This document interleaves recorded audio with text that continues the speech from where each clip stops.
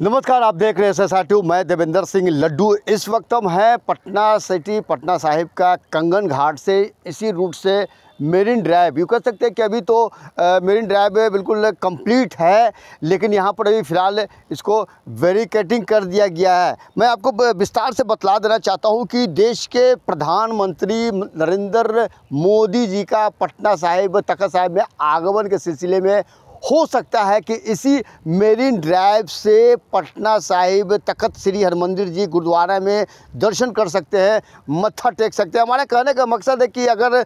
सड़क मार्ग देखिएगा तो काफ़ी सरल मार्ग है और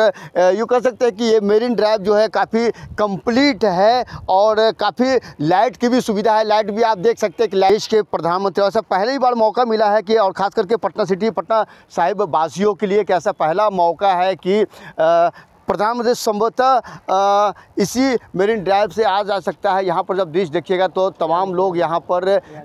मॉनिटरिंग किया जा रहा है। और ख़ास करके सबसे आश्चर्य वाली बात है कि, इस वक्त जब आप देखिएगा तो काफ़ी उत्साहित माहौल है और जो भी प्रशासन के जो भी अधिकारी पदाधिकारी आ रहे हैं तो काफ़ी लोग आ रहे हैं। यहाँ पर मुआयना किया जा रहा है कि देश का पहला ऐसा प्रधानमंत्री है। हमारे नज़र में तो ऐसा पहला प्रधानमंत्री है कि इसी और ख़ास करके एक सौगात भी मिल जाएगी पटना पटना साहिब वासियों के लिए कि मेरीन ड्राइव के लिए और ये जो भी प्रशासन के जो अधिकारी, पदाधिकारी जो आ रहे हैं, वो बीच बीच में आकर यहाँ पर मुआयना किया जाए, चाहे वो ट्रैफ़िक के बड़े अधिकारी क्यों ना हो, लेकिन यहाँ जब देखिएगा तो अभी फ़िलहाल यहाँ पर विराम है और सड़क जो है बिल्कुल साफ़ सुथरा है, बिल्कुल सफ़ाई चकाचक है। आप कह सकते हैं कि ऐसा पहला मौका आएगा कि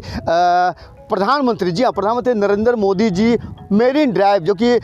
सबसे खास और गंगा मैया का ये व्यंगम दृश्य है, इस सब अगर देखिएगा तो कुछ सन्नाटा है और कोई चहल पहल है क्योंकि अभी रास्ता फ़िलहाल इस बंद है और यहाँ जब देखिएगा तो अभी भी दृश्य जो है लगातार, जो पुलिस पदाधिकारियों का जो आने का सिलसिला शुरू है और यहाँ पर बिल्कुल बैरिकेटिंग कर दिया गया, लेकिन संभवतः लग रहा कि इस रास्ते का भी उपयोग किया जा सकता है। ऐसे टू आप देखते रहिए लाइक कीजिए जय हिंद।